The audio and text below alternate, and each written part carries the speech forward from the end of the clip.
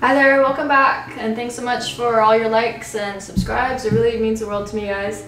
Um, I didn't expect to receive such a warm welcome. I'm totally overwhelmed with all your love, all your comments, all your messages. Thank you so much. I hope you'll keep hitting that like button if I bring you some sunshine, if I bring you some information that's interesting and kind of cool to learn about. Um, I'm here today with all my seeds. I want to show you off, show off all my seeds to you. Um, I have this cool collection I want to talk about. Um, this is going to be a series though, so this is not the whole thing. I just wanted to touch a little bit on on what I'm planning uh, in this video. So I was going to talk a little bit about my history, about how I got into gardening, how I got into farming, my passion for plants. Actually, I have a passion for food in general. But that video got a little boring. Just a little bit static, sitting. I don't do well just sitting in front of a camera, talk, talk, talk. I, I, that's not me. I'm a very active person. I pretty much can't sit still.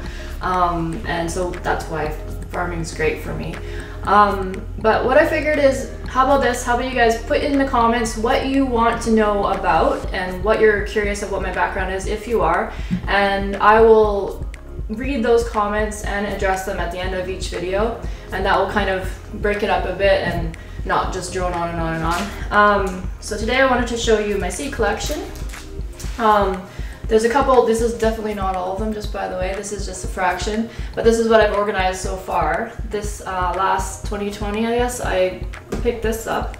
This is a pretty cool organization. Anyways, this is uh, my seed collection. This is actually just a fraction of my seed collection. I've kind of um, organized it into the smaller quantities go in here.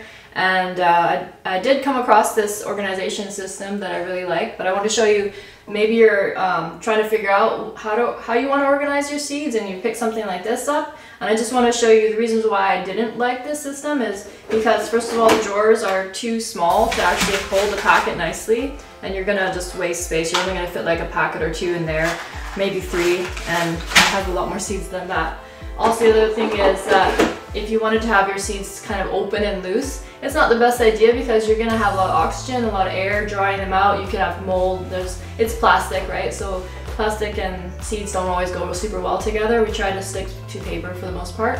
This is a really cool option. This is one that I've settled on so far. I might expand it and have more bins or I might change it entirely, who knows, but so far I'm really liking this. I'll give you a peek at what's going on in here.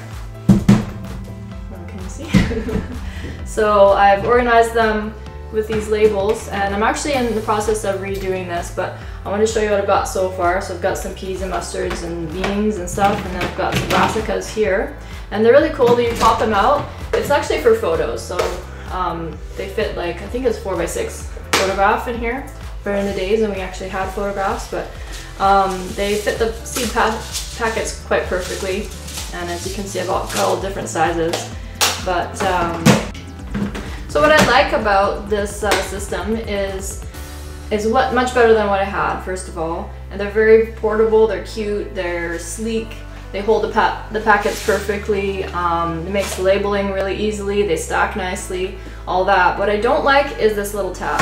This little tab could break off really easily and then your whole thing isn't to close seeds could spill out. Uh, not spill out of the packages maybe, but they could spill out. And that's the only thing I'm not crazy about. Um, obviously it's plastic. We're trying to, we're all trying to get away from using so much plastic. Um, seeds don't the best place for selling or sorry for storing your seeds is, isn't plastic which is why everything's still in in paper inside the plastic um, the other thing that I find is especially with beans for some reason they fill up so fast and I keep having to use so many of them for beans so it doesn't hold a, a, huge quantity. Most people though do garden with a small quantity of seeds so it will work for most people. You can color code them, you can get all clear, the, on Amazon they, they have a whole clear option as well. But what I also like about them is they stack really nicely. It's very organized and uh, you can label the outside, you can label the individual ones and that's pretty cool. So I thought I'd like that and I do but I wanted to take it one step further. I started, I picked up this book at the library. It's from Suzanne Ashworth called Seed to Seed. It's her seed saving book. And it's just amazing. It's blowing my mind. Every page is just a wealth of information. A really good writer. She knows so much about taxonomy um, and seed categorization, way more than I've ever even bothered to learn. I should have taken a botany course in college, but I never got around to that. Um, And I figured what I'd do for you guys is put a series together and go through each plant family and show you the, the obviously the assortments I have of that seed, but and then maybe talk a little bit about my experiences growing each plant family. And yeah, I hope you guys will join me for that. That'll be pretty interesting, I think. And uh, let's delve into it. And just and mostly it's going to be on in the capacity. I'm not a botanist, like I said, but I wanted to delve into it into the capacity that'll be useful for your gardening and useful for farming, useful for growing seedlings, which is my, mainly what I'm focusing on right now. And uh, yeah, let's see where it goes in the ne next videos. So I don't know if you're as seed crazy as I am, but the next series of videos are going to be all about plant families and organizing the seeds into those families and uh, you're not going to want to miss it. So I'll see you over there. Hope you'll join me. Thanks so much.